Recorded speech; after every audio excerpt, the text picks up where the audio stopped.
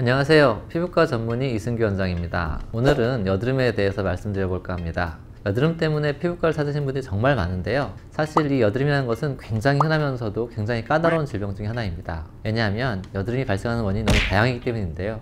그 때문에 병원마다 치료하는 방법이 조금씩 다를 수도 있습니다. 하지만 이렇게 의외로 복잡한 여드름, 제가 오늘 아주 쉽게 한번 설명드려 보도록 하겠습니다.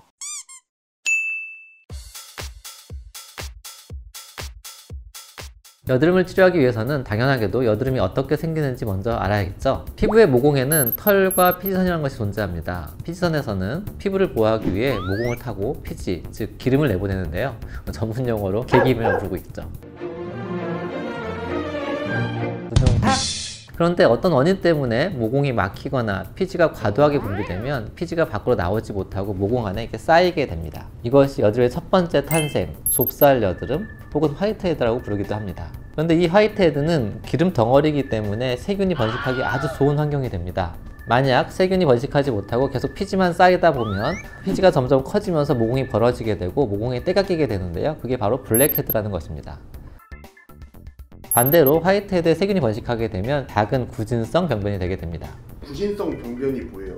구진성 병변은 좁쌀 여드름에 세균이 번식해서 염증이 생겨서 자꾸 빨갛게 튀어나온 모양의 여드름입니다. 아, 이 구진성 병변이 더욱 커지거나 참다 못해 손으로 짜다가 잘못 터져서 피부 아래쪽으로 병변이 터지게 되면 매우 크고 아픈 여드름이 됩니다. 이렇게 푹 익은 여드름을 의학적 용어로 낭종성 혹은 결절성 병변이라고 부릅니다.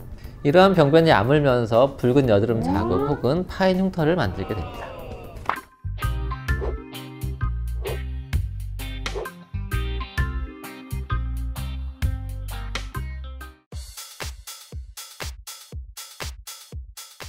어, 여드름 치료는 결국 여드름의 인생사를 단계별로 하나씩 하나씩 치료해주는 것입니다.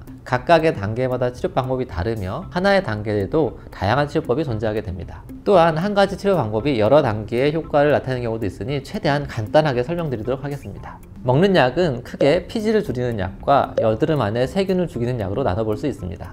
피지를 줄여주는 약으로는 로아큐탄 혹은 이소트레티노인이라는 약이 있는데요. 얘는 약이기는 하지만 고용량의 비타민 A입니다.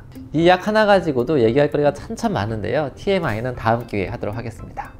어, 이 약은 피지의 분비 자체를 줄여서 새로운 좁쌀의 생성을 막아줍니다. 그러나 단기적으로 봤을 때 이미 생성된 여드름을 없애지는 못하는데요. 그럼에도 불구하고 이소트레티놀을 쓰는 이유는 새로운 좁쌀 여드름 생성을 막아 치료 기간을 단축하기 위해서입니다. 저 역시 병원에서 치료 기간을 줄이기 위해 이 약을 사용하고 있습니다. 다음으로 세균을 죽이는 약으로 항생제가 있습니다.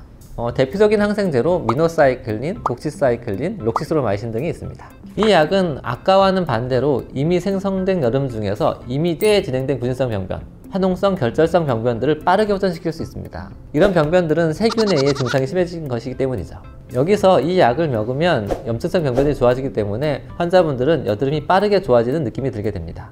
그러나 얘는 반대로 새로 자라는 여드름의 유망주, 좁쌀 여드름의 생성을 막아내지는 못합니다.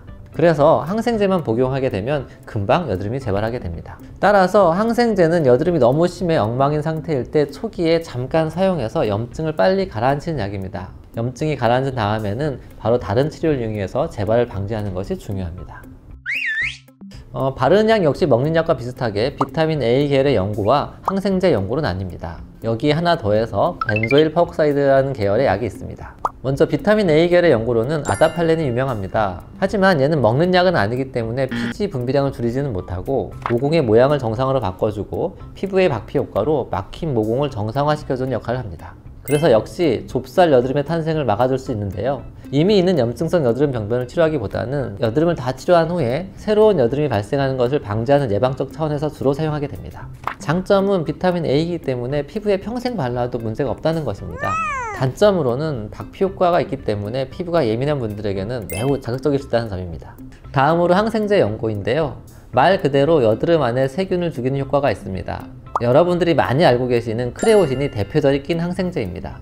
먹는 항생제 약처럼 이미 발생한 여드름, 즉 구진성, 화농성 병변에 효과적입니다. 이 연고를 바르면 염증이 줄어들기 때문에 빠르게 여드름이 좋아지는 것 같은 느낌이 드는데요. 그래서 많은 환자분들이 이 연고만 받으러 병원에 오시는 경우가 많습니다. 하지만 먹는 항생제 약처럼 치료를 중단하면 금방 재발하기 때문에 다른 치료와 병행하며 사용하는 것이 매우 중요합니다.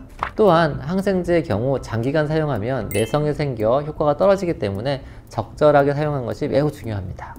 앞서 언급드린 benzoyl peroxide라는 약 역시 항생제와 비슷하게 여드름 세균을 억제하고 염증을 방지하는 역할을 합니다. 요즘에는 이 세 가지 연고를 섞어 좋은 효과를 내는 연고를 많이 사용하고 있습니다. 대표적인 게 듀악겔과 에피듀오입니다. 듀악겔은 benzoyl peroxide와 항생제를 섞은 것이고 에피듀오는 adapalene과 benzoyl peroxide를 섞은 약입니다. 이런 연고들은 여드름이 심하지 않은 경우 좋은 효과를 볼 수 있습니다. 하지만 피부에 자극이 굉장히 심한 편이기 때문에 부작용이 종종 발생하기도 하는데요. 때문에 반드시 의사 선생님과 상담 후에 주의하여 사용하셔야 합니다. 실제로 위와 같이 섞은 연고를 사용하다 부작용이 발생하여 내원하는 경우가 많은 편입니다. 우중탁! 어, 오늘은 여드름의 발생 과정과 약물을 이용한 치료에 대해 알아봤습니다. 다음 시간에는 여드름에 대해 병원에서 치료하는 다양한 방법들을 간략하게 정리해 보도록 하겠습니다. 어, 다음 시간에도 유익한 정보로 여러분들의 피부 지식을 촉촉하게 해드리도록 하겠습니다. 이상 오라클TV 이승기였습니다. 감사합니다.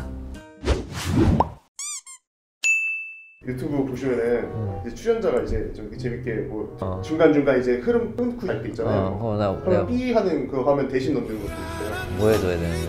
두둥 탁 어떻게, 어떻게 하는 건데? 이렇게 하면 해줘요. 술이 술 한잔 하고 해야 될 것 같은데. 과연 술 마실 때 한번 찍자. 두둥 탁. 웃으면 안 되죠. 웃으면 안 돼, 웃으면 안 돼. 진지하게 할때 웃으면 됩니다. 안 돼요. 아, 이- 원하는 원하는 그 두둥 탁.